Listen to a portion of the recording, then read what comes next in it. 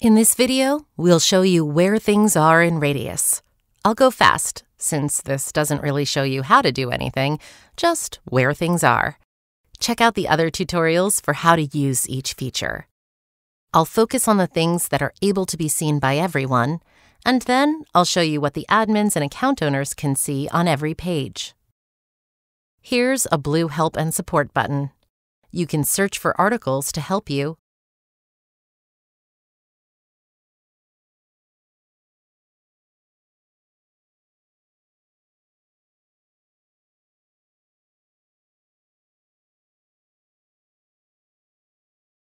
or start a conversation.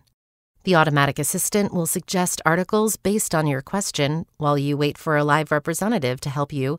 If you find what you need, feel free to close the ticket. Otherwise, somebody will be with you.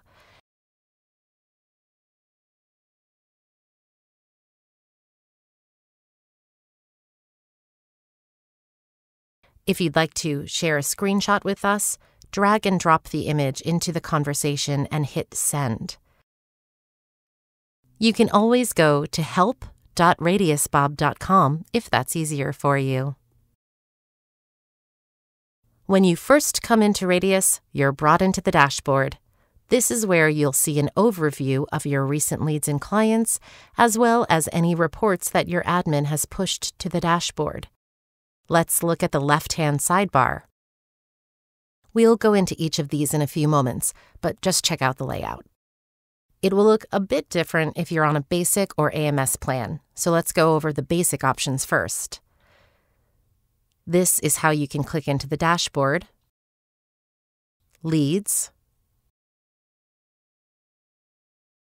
clients, the calendar, call queue, mass email, templates for emails and texting, messages, links and files, carrier info, and reports. If you're an admin, you'll also see settings. If you're on an AMS plan, you will also see the executive dashboard here if you're an admin.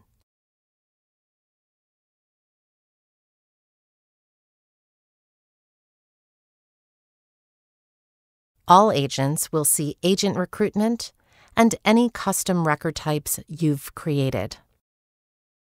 Above, we have a search bar to search names, companies, phone numbers, and email addresses to locate your records. We have the ability to add a lead or a client or a general task. You can launch the dialer or activate call forwarding if you have that option here. Click on this people icon to see your most recently viewed records and get quickly back into their file. See an overview of the upcoming and overdue tasks that you have here. You may also see a links section here if the admin has put any quick links into this section. Here's the account dropdown. You can update your information in the My Information section. That's a really important section to dive into. You can also log out here. The admins and account owners will see much more, so we'll go back to that soon. But right now, we're going to focus on the agent view so that they can get back to selling faster. Now let's click on leads. Above, we have the group counts of the various lead statuses. If you click on that number, the list will filter by that status option. Click Reset Filters to see all leads again. This is an important one because most people's questions on the help tickets are I can't see my leads. It's because you haven't clicked Reset Filters. Here, you can import a spreadsheet or add an individual lead. Below, you see the filters that you can use to quickly see specific types of leads.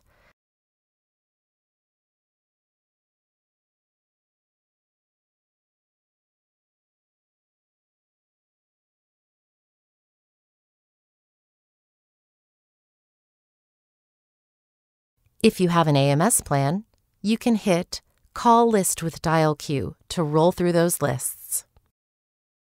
Below the lead list is the display option for leads per page. We recommend keeping it to a lower number so that your page load time doesn't take forever. But the higher numbers are there if you need them. Scroll back up and you'll see above the lead list Select All, Bulk Update, and Delete.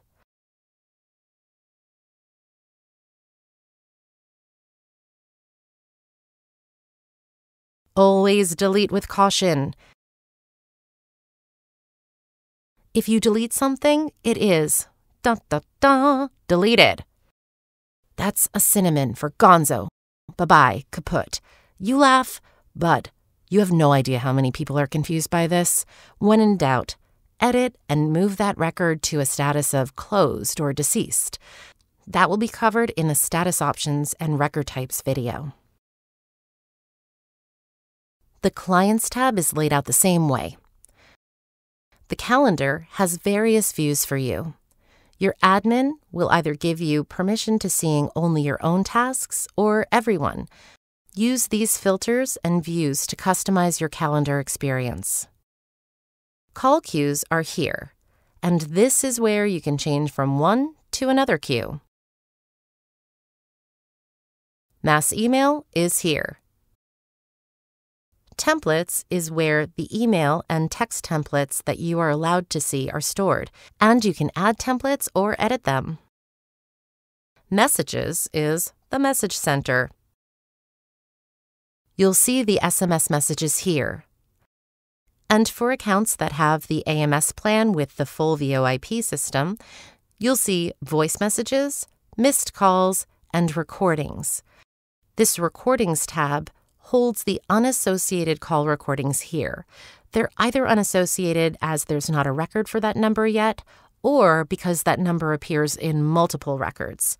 Listen to the recording and then associate it with a proper file or create a new lead from it. This Links and Files tab is a callout section for any links and files your admin has set up for easy access. Carrier info is a call out for the carrier contacts, notes, documents, and other information about specific carriers.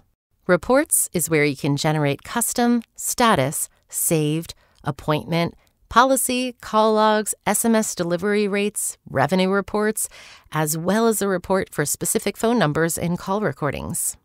Let's look in a lead file. You'll see the options to convert them to different record types in blue at the top.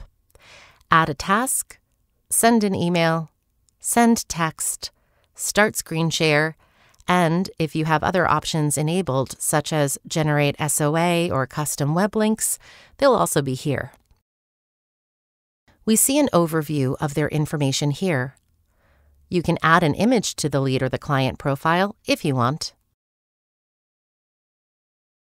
The first tab is Notes. Lock any important notes with a lock icon so that they can stay at the top rather than in chronological order, which is the default. Next is Information. You can add custom fields to this. Check out that Coverage Types and Custom Data Fields article. But here's a quick overview.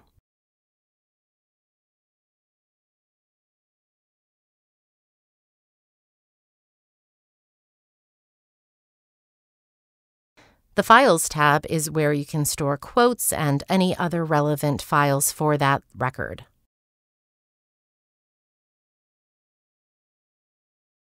Products is where you'll add their products.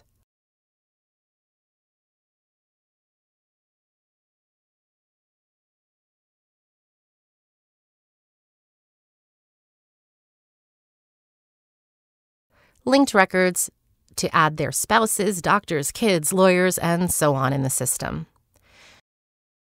Website links, any custom tabs you've added, and finally, record history, where you can see an audit of all of the record updates done by the system and by your team in chronological order. On the right hand sidebar is a list of called out information for quick reference contact info, important information, important dates, products, tasks, call queues, linked records, tags, pending workflow actions, and more. Now let's look at a client file, which is just slightly different. Really, the only changes are that you can now have their commissions calculate for any of their active policies, and you can look at their commission history. Plus, you can enable client access. This gives them access to documents you want to share with them, their policy info, your contact info, their products, and so on. If you have the AMS plan, you'll also have agent recruitment. Those records look very similar as well, but here you'll see where you can add in their contracts. And if you get them onto your team and want to add them as a user in Radius, just hit Add User. Their record will stay in the agent recruitment, but now you'll see their profile created as a user profile with their contracts and other information pushed into that section. Okay, agents, back to work. Admins, let's see your options. The Account tab now has many more options for you. Manage users, create downline and uplines, agent documents, upload user files, website forms to integrate your website's contact forms into Radius, billing, upgrade account, and log out. On the left hand sidebar, you'll also see landing pages where you can edit or create landing pages, commissions where you can import your commission statements, and settings. Most of the new features that are announced will appear here, so this layout is going to change. But there's a handy filter at the top to help you search for what you want. Let's take a peek. Account logo, name, and time zone. Record types. Phone dialer and SMS credits. Products. Carriers. Email columns, calendar, and other settings dashboard settings, coverage types and custom data fields, automated workflows, status options, group status options, lead temperatures, lead routing rules, account users, analytics, direct mail manager integration, account tabs, website link categories, website links and files, agency types, quote tool integrations. Set your states, provinces, and counties, task and reminder categories, appointment scheduling, reminders, and outcome setup, user document types, user location security groups, and much more. Plus, if you're on an AMS plan, new features will be released here as well. Again, these all are covered in other tutorials, so please check out help.radiusbob.com or the little help icon for more information. But now you know where things are.